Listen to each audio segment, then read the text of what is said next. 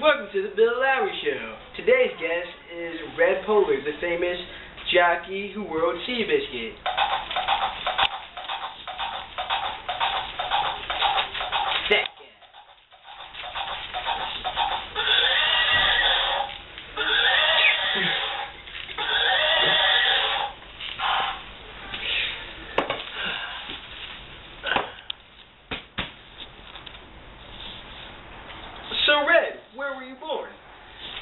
born in the mill in Canada in October 27th, 1902. After you left the house, what did you do? After I left the house, I was a jockey by the day, you know, and then at nighttime I was a boxer. So that brought, brought in some good money, Nice, making stacks. I guess. Yeah. Cool, making that back, but jockeying made, made, got you to make more back, or? Yeah, I mean, jockey was like, that was my true calling. Yeah? Yeah. Respect. Well, we'll find out more about, about you after the commercial break. Hey guys, Millie Bay is right here, showing you a new product, Colgate. I know it's been a toothpaste around for a while, but now it's in a new compatible tube for your convenience. You just unscrew the cap like that, put it on your toothbrush or cleaning utensil, whatever you use. Out the thing. Voila, toothpaste.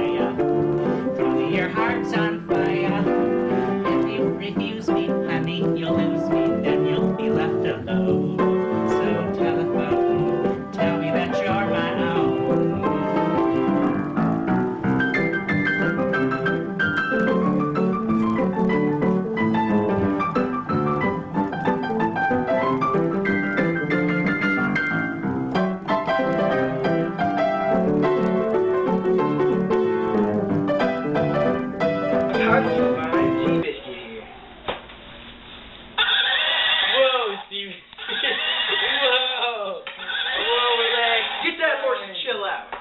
It's fine. Relax. Sorry about Seabiscuit over here. He just. Whoa. Sorry, sorry. I, I, I'm acting irresponsible. It's okay. Okay. it's okay. Okay, sorry about that. Alright. Tell me a little bit about Seabiscuit. Well, Seabiscuit was a very undisciplined horse when I found him. And, uh, he was, he was hard to train, but me and this guy, uh, Tom Smith, we, you know, we got him in check and we put him on the racetrack. He was fast. Very, very fast. Very fast? Very, very fast. Nice. I heard Seabiscuit holds the record for the fastest track record. Is after we trained him, like I said, we put him on the track and most horses they run their fastest on the race. And he actually beat the race track record by two seconds by himself on the track. Dang. Yeah, I'm proud of this guy right here. Seabiscuit. Mm, that's that's pretty cool. Fast horse.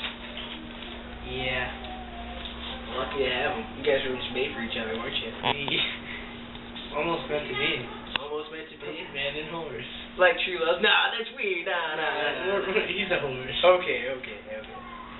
Uh, tell me about the 1937 100 grand race. Well, the 100 grand race was a race for 100 grand. And, uh, you know, How much? 100 grand. Oh, okay. It was, it was a lot of money in my time, 1930s. We were just racing it out, Seabiscuit, you know, fastest horse out there. So, uh, we were racing it out and just, he went clutch. We were easily five strides ahead of the horse behind us. I think his name was Rosemont. And, uh, out of nowhere, he just turned into the center, and you know I I got him to control himself, and we were still Mhm. shooting for the finish, and I, I lunged my right eye, so I didn't see Rosemont coming up from behind me and took the finish by six inches. Dang. We had to decide by a photo shoot. That's that sounds devastating. That's all I have to say about that. My coach was cheering, "Oh, champagne for everybody! Seabiscuit's gonna win!" But Very, it was But- a downer. didn't win. It, it, I, would- I would have been down on that. I mean, of course it's a downer. No, Ah, not good at all. it's tragic. To be honest. It is. Tell me something interesting facts about yourself. Well, my name isn't really Red. It's John. People call me Red 'cause my red hair. Yeah. and uh, yeah, as I told you, I'm blind in my right eye. Your right eye? My right eye. Wait, the left or the right? the right. So you're talking about your right eye. This one. Okay, that right one. Okay. Yeah. Okay, respect. Okay.